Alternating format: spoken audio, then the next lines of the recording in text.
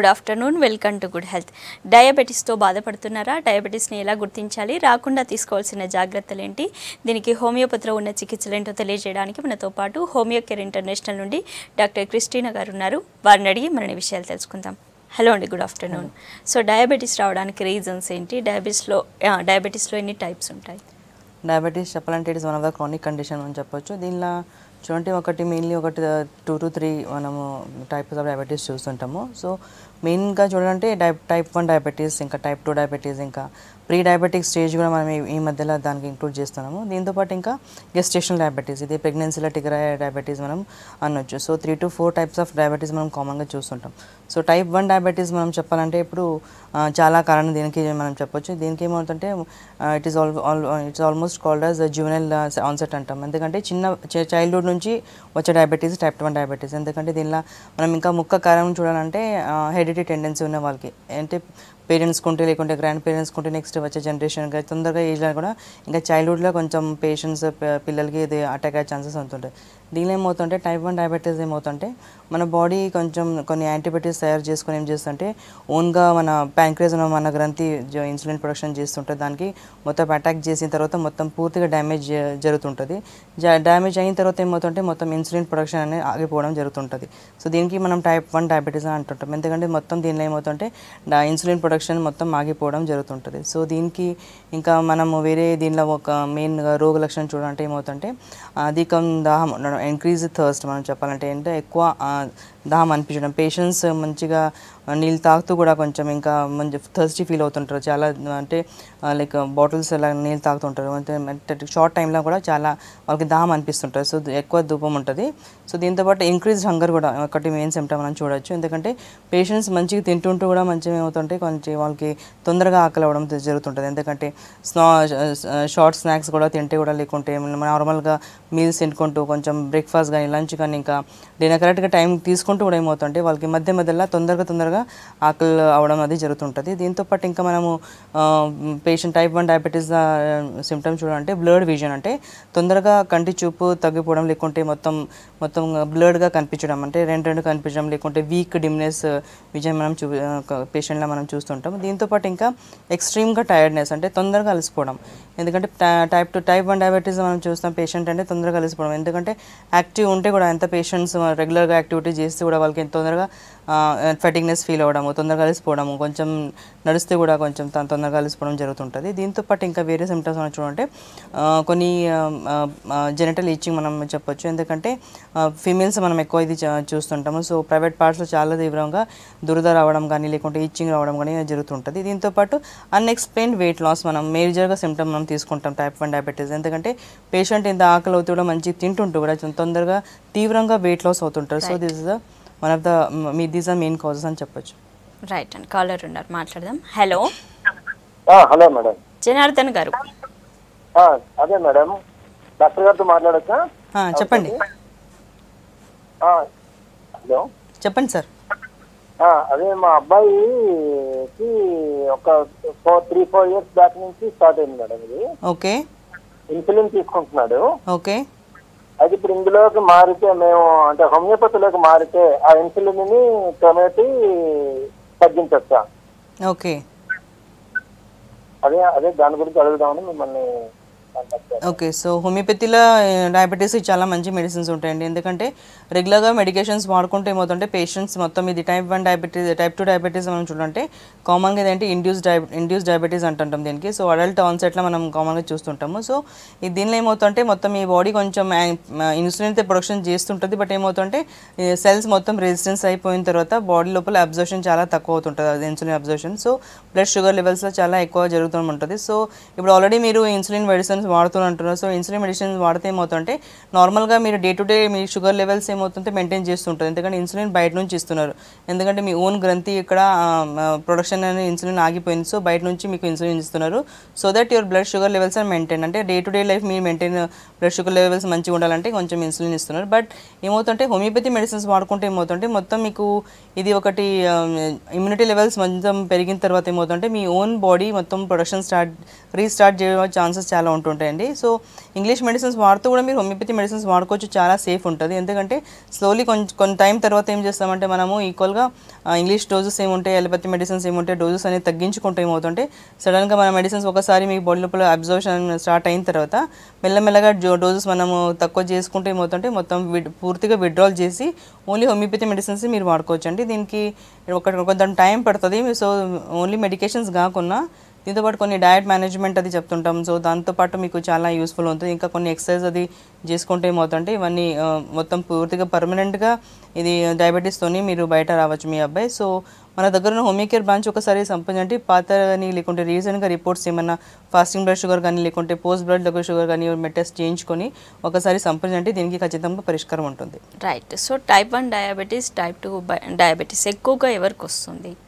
Type one diabetes చెప్పానంటే జూనియల్ onset అంటే చిన్న ఇప్పుడు చిన్న పిల్లలు మనం ఎక్కువ స్టార్టింగ్ చూస్తుంటాం. But it can effect in any age అనుకోవచ్చు సో ఎనీబడి మేల్ కానీ ఫీమేల్ కానీ చిన్న పిల్లలు కానీ మనం టైప్ వన్ డయాబెటీస్ చూస్తాం ఎందుకంటే స్ట్రాంగ్గా ఎవరు ఫ్యామిలీలో స్ట్రాంగ్గా డయాబెటిక్ హిస్టరీ ఉంది వాళ్ళకి హెరిడిటీ టెండెన్సీ ఉంటే వాళ్ళకి వచ్చే ఛాన్సెస్ చాలా ఉంటుంటాయి. సో ఈవెన్ నవేడేస్ ఏమవుతుందంటే కొంచెం జీవన శైలి మారిపోయిన తర్వాత చాలా డయాబెటీస్ వచ్చే ఛాన్సెస్ ఎక్కువ ఉంటుంటాయి సో దీనిలో ఏమవుతుంటే మనకి టైప్ టూ డయాబెటీస్ మనం కామన్గా చూస్తుంటాం. టైప్ టూ డయాబెటీస్ అంటే ఏంటంటే దిస్ ఇస్ అడల్ట్ ఆన్సెట్ ఇంకా మన లైఫ్ స్టైల్తో పాటు వచ్చే డయాబెటీస్ ఇది. సో ఎందుకంటే చాలా ల్యాక్ ఆఫ్ ఎక్స్ ఎక్సర్సైజ్ కానీ ల్యాక్ ఆఫ్ ప్రాపర్ డయట్ కానీ ఇలా తీసుకోలేకపోతే ఏమవుతుంది? మన బాడీ మొత్తం ఒకటి సెడెంటరీ లైఫ్ స్టైల్లో వెళ్ళిపోయిన తర్వాత స్ట్రెస్ ఉంటే లేకుంటే దిస్ ఇస్ ఒబేసిటీ ఇవన్నీ కొన్ని మెయిన్ రీజన్స్ మనం కారణం మనం చూడొచ్చు.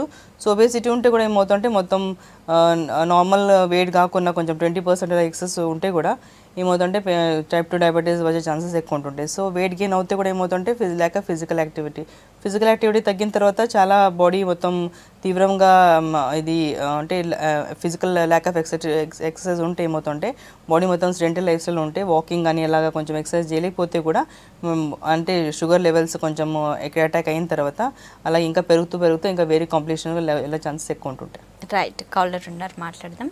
Hello hello.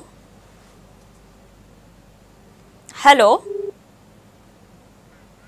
Right. So చిన్నపిల్లల్లో కూడా డయాబెటీస్ చూస్తుంటాం. అప్పుడే పుట్టిన బేబీస్లో రావడం పిల్లల్లో రావడం. ఎందుకు వీళ్ళకి వస్తుంది చిన్న పిల్లలను మనం చూడంటే పుట్టిన బేబీ అంటే మీకు దీనికి ఒక టైప్ ఆఫ్ డయాబెటీస్ మనం దీనిలో చూస్తుంటాం గెస్టేషన్ డయాబెటీస్ అంటాము. దీనిలో ఏమవుతుంటే ప్రెగ్నెన్సీ ఉన్నప్పుడు తల్లికి వచ్చిన వచ్చితే డయాబెటీస్ అటాక్ అయిన తర్వాత నెక్స్ట్ ఫ్యూచర్లో కూడా if she not taking treatment లేకుంటే ప్రెగ్నెన్సీలో కూడా కొంచెం ప్రాపర్ ట్రీట్మెంట్ తీసుకోలేకపోతే మెడిసిన్స్ వాడలేకపోతే ఏమవుతుంటే నెక్స్ట్ బిడ్డ కడుపులో ఉన్న బిడ్డ కూడా ఇది వచ్చే ట్రాన్స్మిషన్ అవ్వే ఛాన్సెస్ చాలా ఉంటుంటాయి. సో దీనికి చాలా హై రిస్క్ మనం చెప్పొచ్చు. ఎందుకంటే ఒకసారి ఇప్పుడు నవేడేస్ అయితే స్క్రీనింగ్ కానీ ప్రెగ్నెన్సీలో యాంటీనేటల్ స్కాన్ స్కాన్ కానీ అన్ని టెస్ట్ మనం చేపిస్తుంటాము. బట్ దాని మొదటి ఒక్కసారి స్క్రీనింగ్ అవుతే మనం ఒక మెడికేషన్స్ వాడితే చాలా మట్టికి ఇదని మనం ప్రివెంటన్ చేసుకోవచ్చు. ఒకవేళ కొంతమందికి అవేర్నెస్ లేకున్నా కూడా కొన్ని కొత్త పేషెంట్స్ అలాగే ప్రెగ్నెన్సీ కంటిన్యూ చేస్తే ఏమవుతుంటే బేబీస్ షుగర్ ఉన్న మదర్స్కి బేబీ షుగర్ వచ్చేస్తే ప్రెగ్నెంట్ మదర్స్ షుగర్ వచ్చేస్తే దానికి పుట్ట బేబీ కూడా చాలా హై రిస్క్లో ఉంటారు ఎందుకంటే ఇదేమవుతుంటే ఇది ఏమవుతుంటే మొత్తం ప్లసంటా బ్లడ్ షుగర్ లెవెల్స్ మొత్తం ప్లసంటా త్రూ బేబీకి రీచ్ అయిన తర్వాత బ్లడ్లో ఉన్న షుగర్ లెవెల్స్ బేబీ కూడా ఎఫెక్ట్ అయిన తర్వాత అబ్నార్మల్గా గ్రేత్ గ్రోత్ అవ్వడం కానీ లేకుంటే ఆమ్, ఇంట ఇంట లేకుంటే బర్త్ తర్వాత కొన్ని బ్రీదింగ్ ప్రాబ్లం కానీ లేకుంటే ఇంకా చాలా హై రిస్క్ మనము బేబీస్ మనం చూస్తుంటాం. రైట్ అండి. నెక్స్ట్ కాల్ తీసుకుందాం. Hello. Hello sir. Hello madam నమస్కారం మేడం. నా పేరు రామకృష్ణ మేడం. చెప్పండి రామకృష్ణ గారు మీ ప్రాబ్లం చెప్పండి. మేడం నాకు వన్ మంత్ అవుతుంది మేడం షుగర్ తగిలి. ఓకే. గ్లైకోమిట్ జీపీ వన్ వాడుతున్నా మేడం టాబ్లెట్స్. ఓకే. అలాగే అల్సర్ కూడా ఉంది మేడం. ఓకే. పనికి మాది వ్యవసాయం పని మేడం. పనికి వెళ్ళినప్పుడల్లా ఆటోమేటిక్గా బాగా చెమటలు వచ్చేసి ఒళ్ళు కాళ్ళు చేతులు బాగా లాక్కుపోవడం. ఓకే. ఈ నొప్పులు విపరీతంగా ఉండడం మేడం. ఓకే. సో తగ్గదా మేడం అసలు? ఓకే. వన్ మంత్ ఏం చెప్తున్నారు మీరు? మీరు టెస్ట్ అది ఇంతకు ముందు చేయించుకోలేదండి ఎప్పుడు? లైక్ చేయించుకున్నారా? టెస్ట్ ఫాస్టింగ్ వన్ మంత్ క్రితం చేయించిన తర్వాత వారానికి ఒకసారి వార- వారానికి ఒకసారి మళ్ళీ చేయిస్తూనే ఉన్నా. ఓకే చాలా హై లెవెల్స్ ఉన్నాయి మీకు షుగర్ వయసు ఎంత వయసు ఎంత ఉంటారు మీరు ఇప్పుడు? నిన్న చేయించిన మేడం నిన్న చేయించితే నూట భోజనం చేసిన తర్వాత నూట యాభై వచ్చింది మేడం. ఓకే తిన్నాక ముందు ఎంత వచ్చిందండి? ఫాస్టింగ్ ఎంత వచ్చింది? ఫాస్టింగ్ తిన్నాక ఎనభై ఆరు వచ్చింది madam.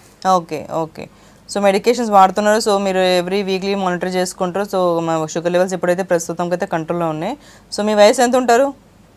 నా వయసు thirty five madam. Thirty five okay. ఇంకా మీరు మేబీ కొంచెం మీరు రెగ్యులర్గా వాకింగ్ అది ఎక్సర్సైజ్ చేసుకోండి. ఎందుకంటే వాకింగ్ అది is best exercise for sugar పేషెంట్స్కి ఎందుకంటే మొత్తం ఎంత మీరు వాకింగ్ అది చేస్తారు అంత క్యాలరీస్ బర్న్ చేసే ఛాన్సెస్ ఎక్కువ ఉంటుంది. దాంతోపాటు షుగర్ లెవెల్స్ బాడీ లోపల బ్లడ్ లోపల చాలా నార్మల్గా మెయింటైన్ అవుతుంటాయి so only medications will not help అండి. ఓన్లీ మీకు మెడికేషన్స్ వాడితే మీకు అది ఉపయోగం ఉండదు. సో దాంతోపాటు కొన్ని ఎక్సర్సైజ్ ఇంకా డయట్ కూడా.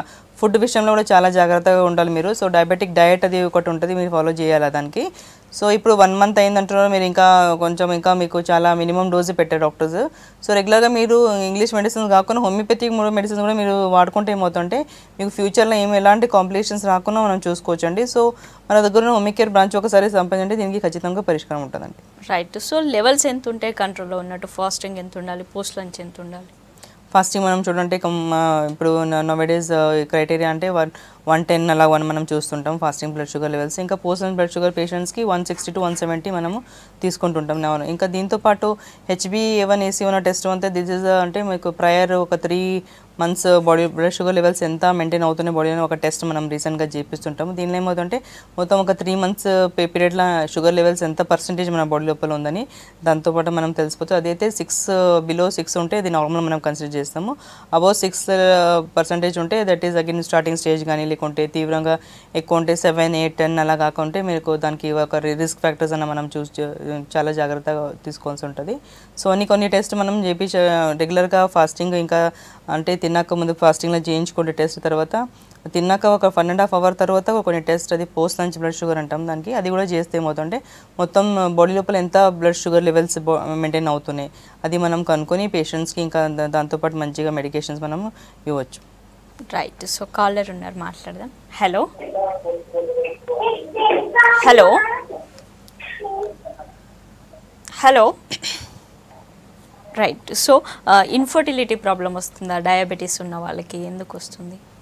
మనం ఇన్ఫర్టిలిటీ అంటే ఇన్ఫర్టి పీసీఓడీస్ ప్రాబ్లమ్స్ మనం కామన్గా మనం with diabetes type two diabetes మనం చూస్తుంటాం. ఎందుకంటే patient female patient is very obese అంటే చాలా ఓవర్ వెయిట్ ఉంటాయి that is one of the main reason దాంతోపాటు ఏమవుతుంటే వాళ్ళకి మొత్తం ఒక ఒకటి బాడీ లోపల ఒకటి ఇన్సులిన్ రెసిస్టెన్స్ స్టార్ట్ అయిపోతుంది. ఇన్సులిన్ రెసిస్టెన్స్ అంటే సెల్స్ మొత్తం దానిలో క్యాలరీస్ బర్న్ అవ్వడం కానీ లేకుంటే ఇంకా షుగర్ లెవెల్స్ కొంచెం హై లెవెల్గా మెయింటైన్ అవ్వడం జరుగుతుంటుంది. ఇంకా దీంతో పాటు ఏమవుతుంటే పేషెంట్స్ రెగ్యులర్గా ఎక్సర్సైజ్ చేసుకుంటే లేకుంటే కొంచెం మెడికేషన్స్ వాడితే ఇంకా వెయిట్ మేనేజ్మెంట్ చేసుకుంటే దీని అన్ని అవాయిడ్ చేసుకోవచ్చు పీసీఓడీస్ ఉంటే దాంతోపాటు టైప్ టూ డయాబెటీస్ కూడా స్టార్ట్ అవుతే దాని నెక్స్ట్ లీడ్స్ టు ఇన్ఫర్టిలిటీ దానికి సంతానలేమి నెక్స్ట్ దారి తీసి తీరే ఛాన్సెస్ చాలా ఉంటుంటాయి. సో పీసీఓడీ ఉన్న పేషెంట్స్ చాలా మంచిగా లైక్ వెయిట్ మేనేజ్మెంట్ చేసుకుంటూ ఒబేసిటీ కొంచెం తగ్గించుకుంటూ వెయిట్ అది కొంచెం మెయింటైన్ చేసుకుంటూ ఏమవుతుంటే ఫ్యూచర్లో వాళ్ళకి సంతానలేమి ప్రాబ్లమ్స్ అలాంటి ప్రాబ్లమ్స్కి వాళ్ళకి ప్రివెన్షన్ చాలా మట్టికి చేసుకోవచ్చు. దీనిలో బట్ పీసీఓడీస్ ఇంకా type two one type two diabetes మనం కామన్గా చూస్తుంటామంటే పేషెంట్స్ చాలా తీవ్రంగా లైక్ uh, స్ట్రెస్ అలా మనం మనం మీన్ ఆఫ్ ద రీజన్ చూసుకోవచ్చు.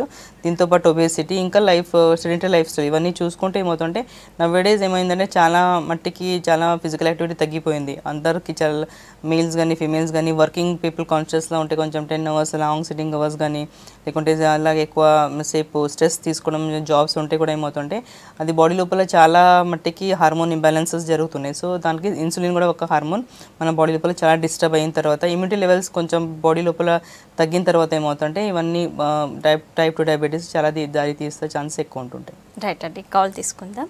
హలో. నమస్తే అండి. నమస్తే అన్వర్ గారు. చెప్పండి మీ ప్రాబ్లం చెప్పండి. మేడం నా వయసు థర్టీ ఫైవ్ ఇయర్స్ అండి. ఓకే. నాకు షుగర్ ఒక త్రీ మంత్స్ నుంచి షుగర్ అటాక్ అయింది. ఇది నేను టెస్ట్ చేయించుకున్నాను మెడిసిన్ వాడుతున్నాను మెట్ఫార్మిన్. ఇది వన్ సెవెంటీ తిన్నాక తినక ముందు వన్ టెన్ ఉంటుంది మేడం. ఓకే. అయితే ఫ్రూట్స్ మేము ప్రత్యేకంగా క్వశ్చన్ ఏంటంటే మేడం ఏమేమి ఫ్రూట్స్ తినకూడదు తెలుసుకోవడం కోసం కాల్ చేశాం మేడం. ఓకే.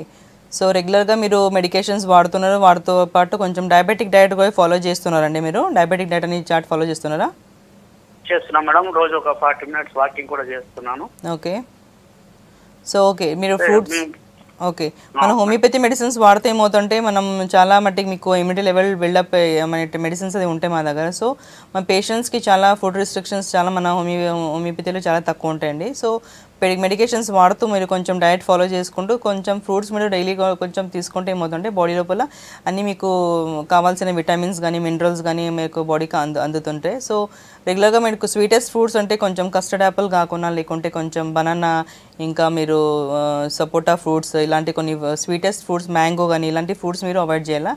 మిగతా మీరు ఫ్రూట్స్ అన్ని తినొచ్చు. యాపిల్ కానీ పొమ్మగ్రనేట్ కానీ జా జామ పండు కానీ మీరు అన్ని గోవా కానీ ఇలా కొన్ని ఫ్రూట్స్ పపాయ తినొచ్చు. మీరు అన్ని కొన్ని వాటర్ మెలన్ ఇంకా మస్క్ ఫ్రూట్స్ తినొచ్చు మీరు. ఎందుకంటే కొంచెం కొంచెం డైలీ ఎవ్రీడే ఒకటే ఫ్రూట్ కాకుండా ఎవ్రీడే కొంచెం మార్చుకుంటుంటే ఫ్రూట్స్ ఏమవుతుంటే మీ బాడీ లోపల క్యాలరీస్ కూడా బన్న ఛాన్స్ చాలా త- ఎక్కువ ఉంటుంది. సో మీరు ఏం తింటే కూడా ఫ్రూట్స్ తింటే కూడా రెగ్యులర్గా కొన్ని ఎక్సర్సైజెస్ కానీ వాకింగ్ అని ఇలా చేస్తుంటే ఏమవుతుంటే మొత్తం తిన్న మీరు తిన్న తర్వాత కూడా క్యాలరీస్ బర్న్ అవ్వే ఛాన్స్ ఎక్కువ ఉంటాయి. సో షుగర్ లెవెల్స్ నార్మల్గా మెయింటైన్ మెయింటైన్ అవుతుంటాయండి సో మెడికేషన్స్ వాడుతూ మీరు అన్ని డయట్ ఫాలో చేసుకుంటే మీకు చాలా మట్టికి అవాయిడ్ చేసుకోవచ్చు. ఇంకా చాలా ఫ్యూచర్లో కూడా డయాబెటిక్ చాలా కాంప్లికేషన్స్ ఉంటాయి. అవి కాంప్లికేషన్ కూడా మీరు ప్రివెంట్ చేసుకోవచ్చు అండి రైట్ సో వాకింగ్ వల్ల షుగర్ లెవెల్స్ కంట్రోల్లో ఉంటాయి. చాలామంది అంటుంటారు వాకింగ్ చేస్తే తగ్గుతాయి అని. ఇది నిజమేనా? అవును ఎందుకంటే whatever the we intake food మనం తీసుకుంటుంటాము. సో తీసుకుంటే స్పెషల్ డయాబెటీస్ పేషెంట్లు ఏమవుతుంటే సో ఈవెన్ దే ఇంటే ఇంటెక్ ఫుడ్ తీసుకున్న తర్వాత గ్లూకోజ్ లెవెల్స్ కన్వర్ట్ అవ్వే ఛాన్సెస్ తక్కువ ఉంటాయి. ఎందుకంటే ఇన్సులిన్ ప్రొడక్షన్ ఆగిపోతుంటుంది బాడీ లోపల.